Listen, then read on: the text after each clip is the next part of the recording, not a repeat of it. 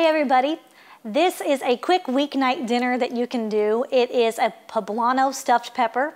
I know you've all had stuffed bell peppers before, um, but I wanted to try it with a poblano pepper just to give it something new and different.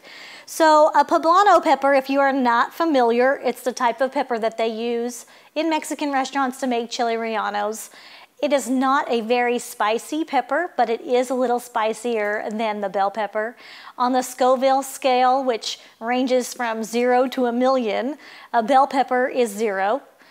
Ghost pepper can be as high as a million, and the poblano pepper typically lands somewhere between 1,000 and 2,000 Scoville heat units. So we're gonna start by spraying a cookie sheet with some nonstick spray. And then we're gonna prep these peppers. Normally when I do a stuffed bell pepper, I will chop the top off, pull the seeds out, and then fill it that way. But of course, a poblano pepper doesn't stand on the bottom like that. So however, lay it down on your cutting board, and however it lays nice and flat, that's gonna be your bottom. And we're just gonna take a lengthwise um, strip off of the top, just like this, and that's how we'll fill the pepper. This one didn't slice evenly, so I'll just kind of cut that open.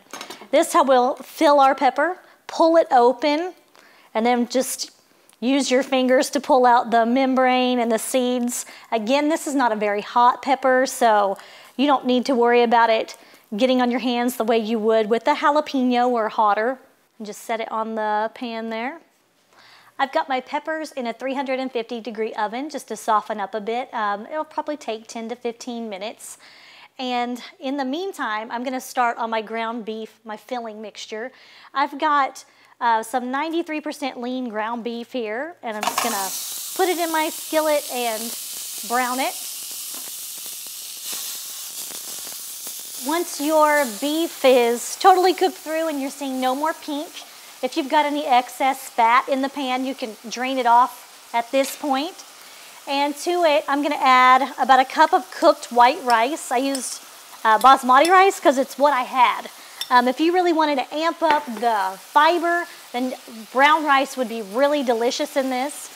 I'm also gonna add a can of black beans that I have drained and rinsed, and a can of corn that I've also drained. Frozen corn, would look would work really well as and um, but I just had canned and I'm also going to add a can of diced tomatoes a packet of taco seasoning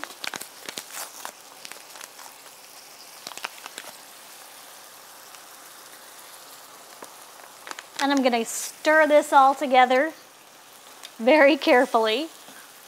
Once you're meat and corn and beans are all incorporated. We're gonna add some shredded cheese. Um, I just bought the pre-shredded Mexican blend at the grocery store. Um, you could just use cheddar or Monterey Jack or whatever kind of cheese you like and shred it yourself if you want. I'm gonna put about a cup in there and stir that together. And then this filling is ready to go in the peppers. All right, after about 10 minutes in the oven, my peppers are a little soft. They're not totally done and they're not supposed to be at this point. Um, and now that they're out, I'm gonna fill them as carefully as I can with this filling, just dividing it as evenly as possible.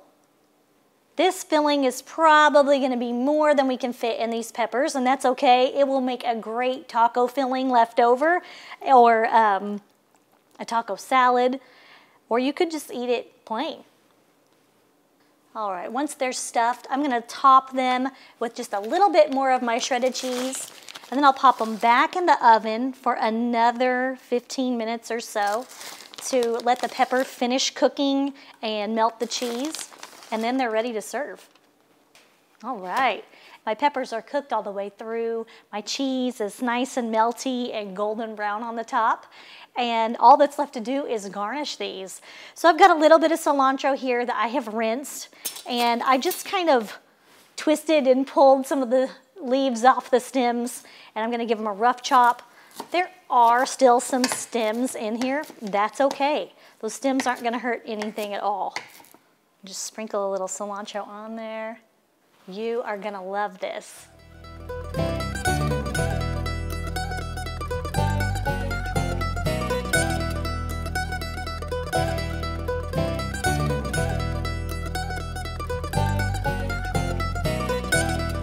We hope you enjoyed this video as part of our Oklahoma Gardening YouTube channel. You can also find even more videos on the OK Gardening Classics YouTube channel.